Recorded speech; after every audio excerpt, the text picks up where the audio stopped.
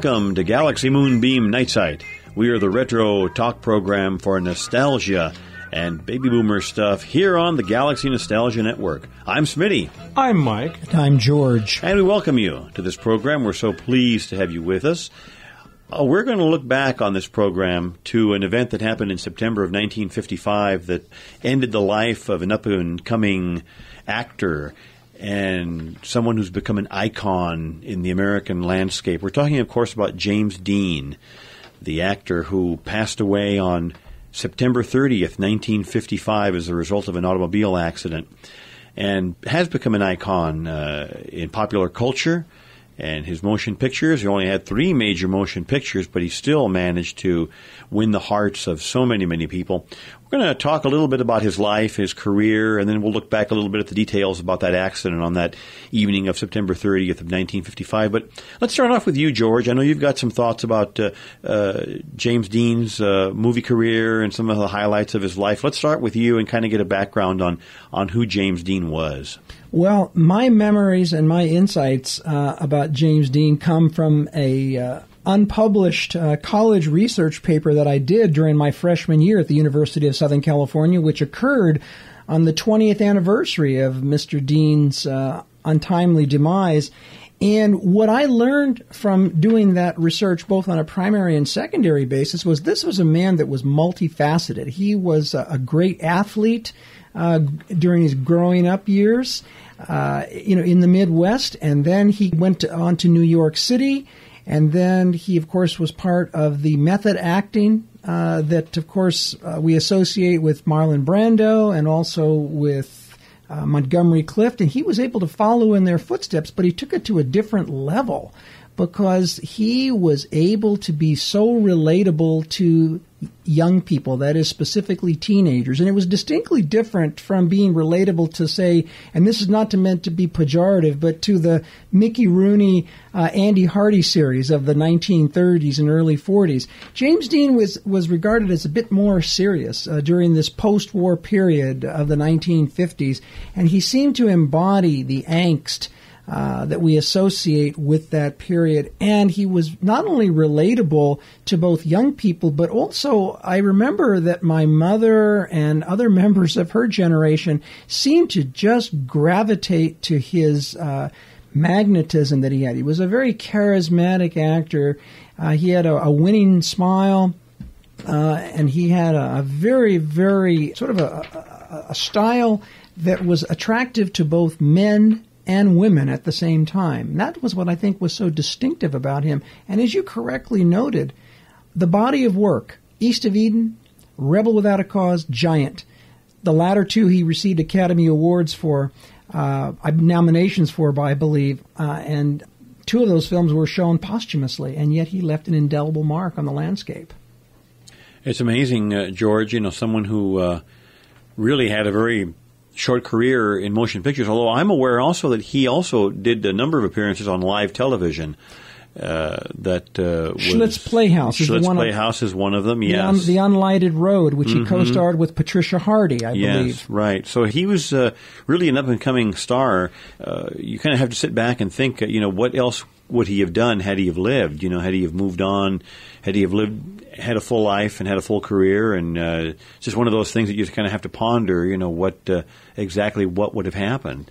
Uh, with him in his future. I think what is interesting is that you read about the various accounts from people that knew him uh, and had met him during that period and the profound respect. I read something that surprised me rather recently, and that actually came from Ronald Reagan, who later became our uh, president. And he himself, having been a, a motion picture actor, uh, he had publicly stated the great respect and almost an awe that he felt for James Dean. Said because of the seriousness of purpose that he brought forth to his craft, that he was always well prepared, and that he really wanted to excel at uh, his profession, that he didn't treat it cavalierly as so many did. And perhaps that's probably what made him more attractive to people versus some of his uh, anti hero predecessors, such as Montgomery Clift and Marlon Brando. Great actors in their own right, there was something about James Dean, I guess that we would call it the it factor. and he seemed to have it. And for those of you in the listening audience who want to read a definitive biography, there's a lot of great biographies about James Dean, but the one that I would recommend to you is titled James Dean, the Mutant King, written by David Dalton. It was actually published in the mid 70s, and it was largely responsible for really catapulting uh, James Dean into uh, an iconic sphere worldwide uh, 20 years after his passing. You know, it's interesting. You were talking a little bit. Uh, you alluded to this, George, when you were talking earlier. That he sort of became um, the symbol of what would come later: uh, rebelliousness uh, in this post-war period, rebelliousness, nonconformist, perhaps kind of a hood, a hoodlum type character, which he portrayed in some of these television programs and in the motion pictures. That may be part of the appeal too, is that he seemed to be the uh, the vanguard of uh, of what was going to come in the future. Very much so. In the movie East of Eden, of course, uh, you know, he found himself as the younger son who had been shunned by his father, right. but he had goodness in his heart and a sincere desire to want to do good for his family. And in the very end, you know, there's a very touching reconciliation with his father, portrayed by Raymond, Raymond Massey, Massey, yeah. and his co-star Julie Harris. And then, of course, even in Rebel Without a Cause, you actually, if you watch the film, James Dean is not really uh, so much a hood in that he actually stands up to bullies. Uh, there, are, there are some people in there that bully, for example, his uh, his young friend played by Sal Mineo, and uh, James Dean actually uh, portrays a very positive character in that regard. He's trying to fit in, and I remember Natalie Wood in her scenes with him. She notes that he's very strong, but he's gentle, he's kind, and he radiates uh, some very positive qualities. The film where I think he had somewhat of a, uh, I don't want to use the word an outlaw type character to him, but anti establishment or ambivalence probably was Giant, his Mm-hmm. last film role, because he, of course, uh, was cast opposite Rock Hudson and Elizabeth Taylor. And he more than held his own uh, in that film. But the character that he portrayed, Jett Rink, he was a, an oil man, but he was uh, very much what we call the wildcatter. He went against the establishment, kind of did things his own way, and he played it that way on screen uh, vis-a-vis uh, Mr. Hudson and, and his co-stars. And I think that that is what people remember. And I think also, uh, you know, in, in competing for some of these roles, he actually uh, found himself head to head against Paul Newman, Sure. beating him out for the role of East of Eden. Uh, but then Mr. Newman became somewhat of a successor with his iconic films, The Hustler and Cool Hand Luke, which I think either of those, I think James Dean could have filled the role. Absolutely. Uh, think about Steve McQueen, the king of cool, uh, when he was uh, in his uh, role as the gunman in uh, Magnificent Seven, and then later Bullitt as the police officer. I mean, these were, again, he was fighting against the establishment, yet in an establishment context. Uh, he really set the standards of excellence, and yet he was committed to his craft. One of the things that comes about in, in the biographies that uh, were written about him was how closely he kept trying to improve himself. He would go to acting classes and do all kinds of things, trying to push the boundaries. This was a time in the 50s where there was a subgenre in American uh, film production, George, and as I recall in, in my some of my film school notes, it was a period of a lot of movies that were produced about the bad boy The anti-hero. and the bad girl. And the adolescents struggling with finding themselves and sexuality of teenagers, the taboos. Uh, you do recall that, to me, an American epic film, uh, Blackboard Jungle. Vic Morrow, uh, these were delinquents and they were loose on the street and, and they were threatening, and good fathers had to keep their daughters protected from these guys. Along comes James Dean and uh, some of his cohorts in the movie Rebel Without a Cause was just nailed it. It's just it was a dartboard for everything that was about to go wrong in America as far as how how traditional Americans related to their children who were learning something called rock and roll music. Uh, the movies started have a little more edginess, a, a lot more sexuality. Some of those uh, situations in Rebel Without a Cause today, of course, would be very tame, but back in 1955, they'd be extremely controversial and or questionable. And even some of the cliches used in the movie are still used to this day. No one up here but us chickens. Remember that line? Of course, of course. and the game of uh, playing chicken. Playing chicken, exactly with the cars. With the cars, and, and Natalie Wood, you know, were just her persona in that picture. And I remember that, well, of course, there was Blackboard Jungle, Vic Morrow. There were some bad boys, Dennis Hopper. Yes, we can he- talk about Dennis Hopper, Sal Mineo. And they were both co-stars with James Dean in both um, Giant and also Yes. Rebel Without a Cause. Both of them were. They were also good friends of his. So here are these new upcomer, these kind of punk kids, kind of brooding, moody guys. James Dean.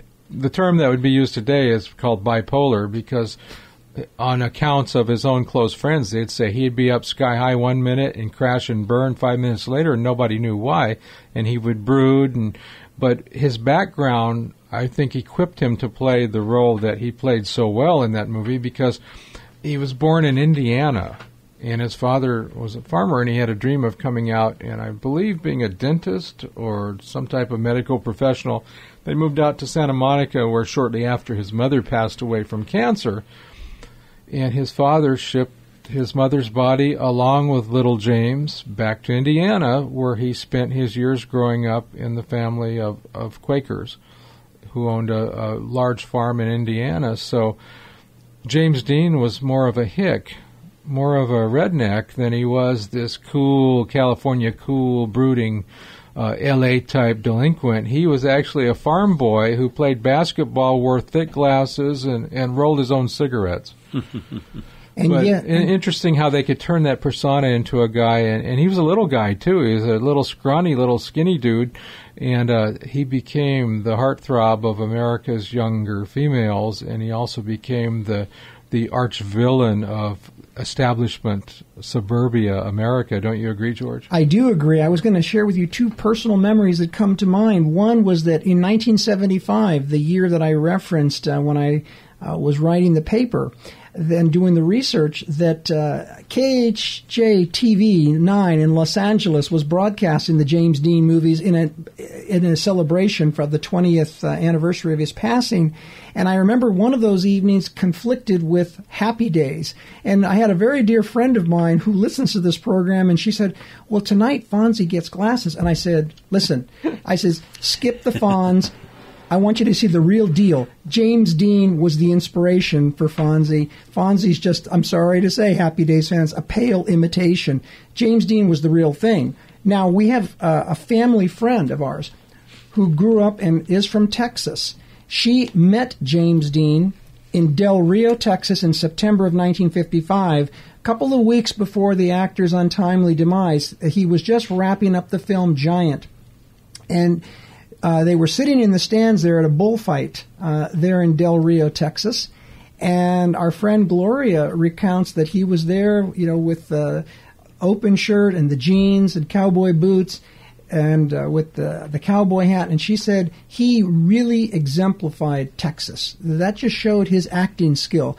That we associate him, obviously, with the rebellious youth in Rebel Without a Cause but and and being a city boy, but she said he personified Texas.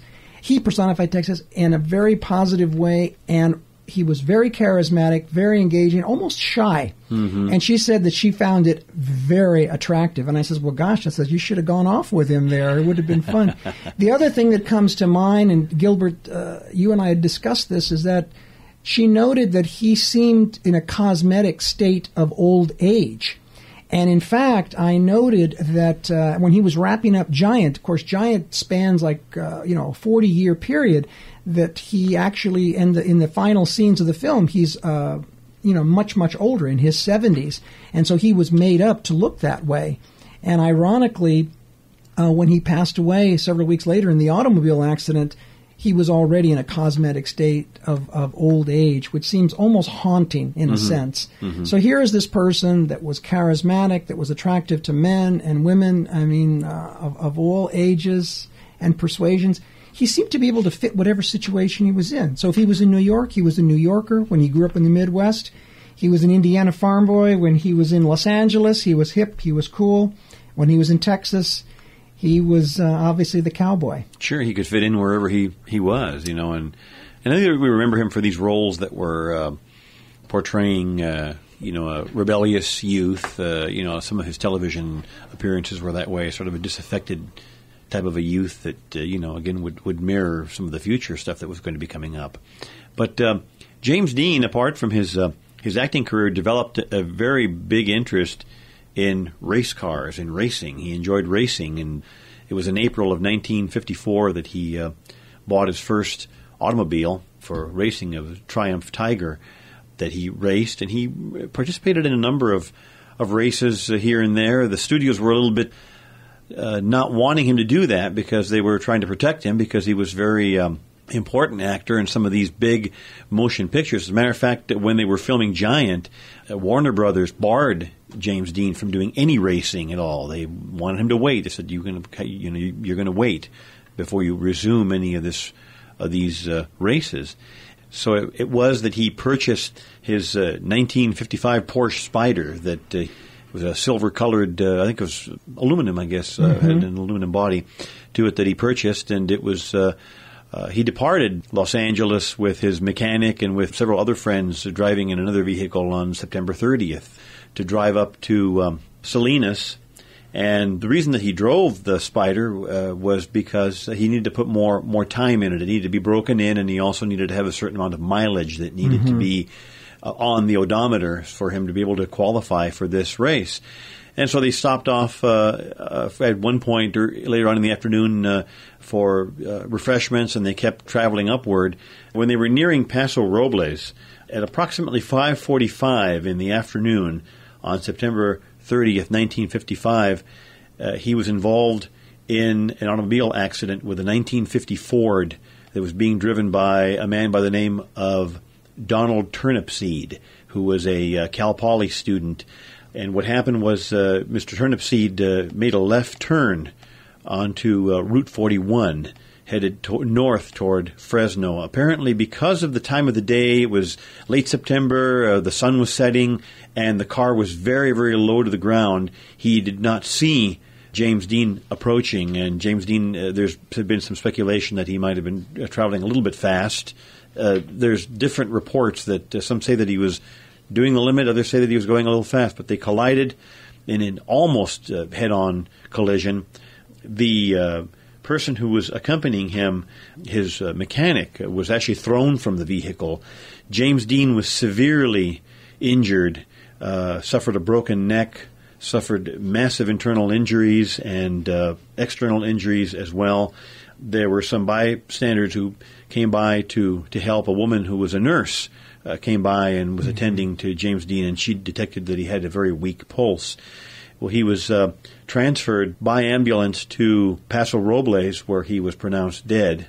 He passed away at the age of 24, I believe, right, George? 24, 24 years yeah, old. He was just 24. Uh, Mr. Turnupseed was not held uh, liable for anything simply because of the circumstances involved. Uh, again, they determined that the speed uh, was a factor, the fact that the car, the, the Porsche Spyder, sat so low to the ground, the time of the day, the angle of the sun, just a lot of different things that, that happened. And so uh, he uh, passed away on that 30th of September of 1955 and became a, a cultural icon.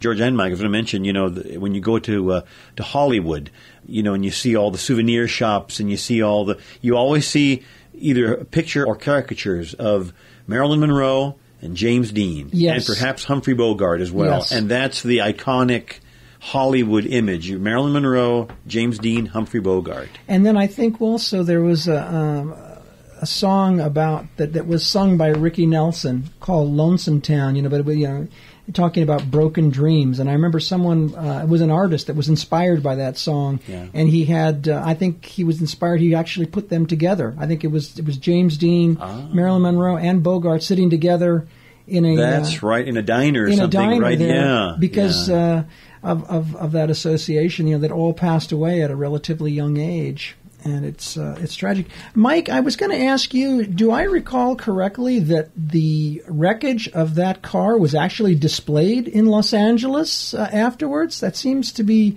something that my parents, who had just moved here from Texas not long uh, not long before, they seem to recall that uh, the car was actually shown. My uncle Doc Malone, Gus Malone Jr., operated, he was the manager of the tow truck company that towed the vehicle. He tells me, and he's been gone now for almost 30 years, but we had a discussion one time at a family event. The car was demolished, it was basically cut in half, and it was towed to the tow yard in Salinas, which is the headquarters for where the tow truck company was, and uh, they had nowadays they call it the paparazzi or whatnot, and they had to put a chain link fence up because people were coming and taking parts, taking pieces of the car apart. So it was actually, according to my uncle Doc, the James Dean Speedster, the Porsche, was actually put into a large truck, and it was sealed for almost a year because it was actually evidence. The Highway Patrol kept it, it in storage as evidence. Then it was taken and it was actually taken to Griffith Park Museum, the train museum. Oh, Travel Town. Travel Town, where it was put on display on a flatbed truck. That's mm-hmm, right. Mm-hmm. So I don't know. I can't verify this other than what my uncle said, but uh, I've got pictures of my uncle uh, with his tow truck. But the, I asked him once, and this again, this was close to 40 years ago. If he had photos of the wreckage, he said photos existed. A lot of people had seen the accident there it was a busy roadway and a lot of people stopped. There was actually a nurse, a registered nurse in one of the other cars who pulled over and the the mechanic from Germany from Porsche he was catapulted over. I believe he survived. He did survive, yes. But uh, James Dean himself, he was actually impaled on the steering wheel and he, his neck was crushed.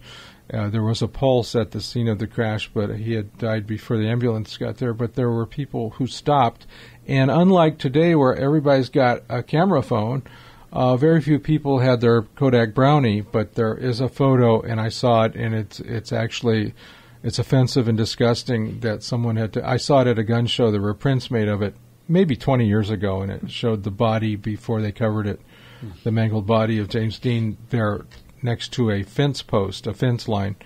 But uh, see, there are people that it's almost like Valentino. There are people who have shrines. Yes. And they make a pilgrimage to the. He's buried, I believe, in Fairmount, Indiana. Correct. Yes, and but, I think that people have taken portions of the gravestone. But they yeah, make pilgrimages out there uh, on every year. So this being a, a, keynote year, there's probably a group of. I'm sure that there fans, will be. Yeah. yeah. there will be. A, but you know, before before leaving this subject, let's talk because this is one thing I really admire about my partner here, Smitty uh, he's familiar with all of the all of the unique and all of the boutique shows that were put out by the uh, three major networks in the 50s.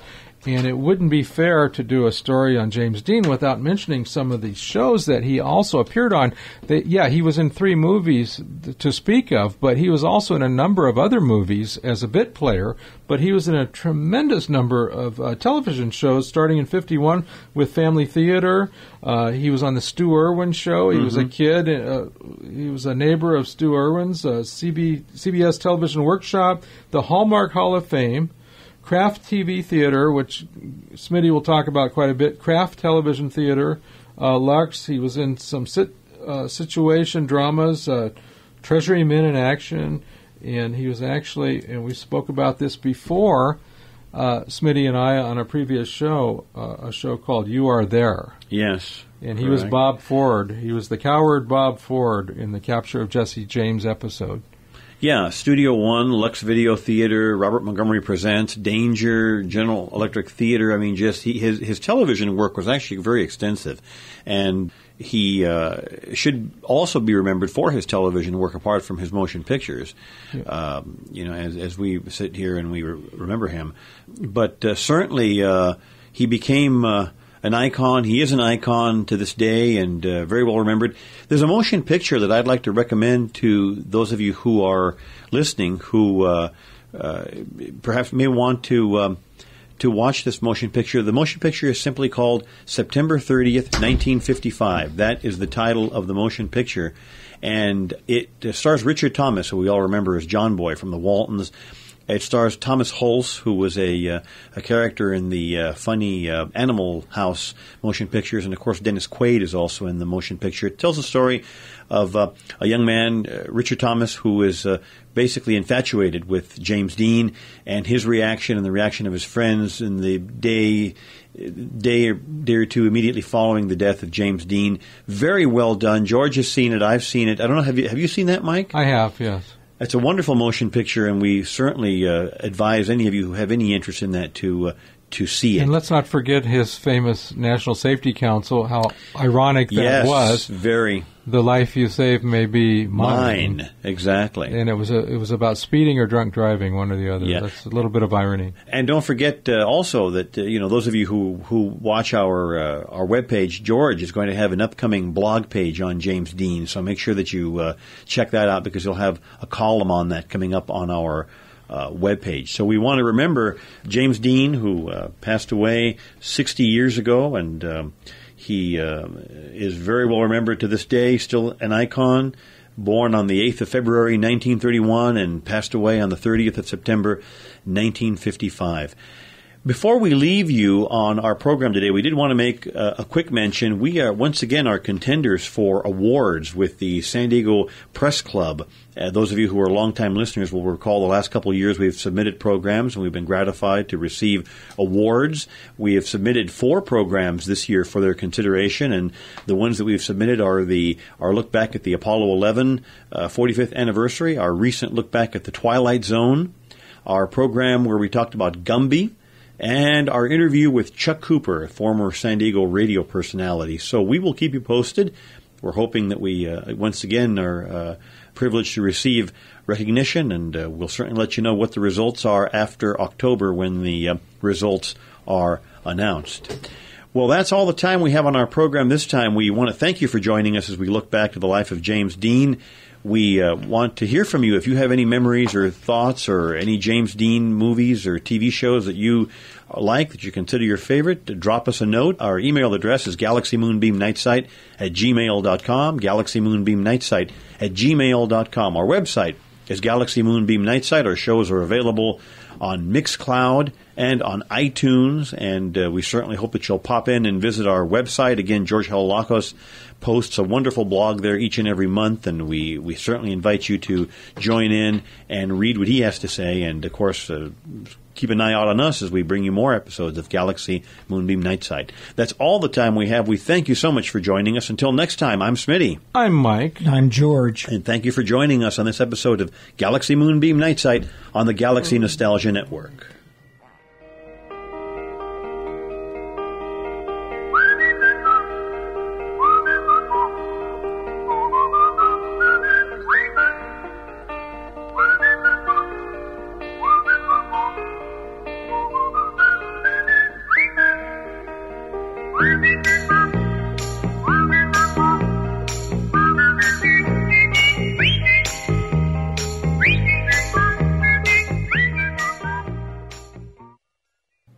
This is the Galaxy Nostalgia Network.